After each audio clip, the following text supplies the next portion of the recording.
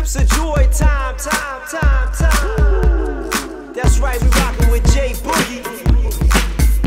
What could be better than that?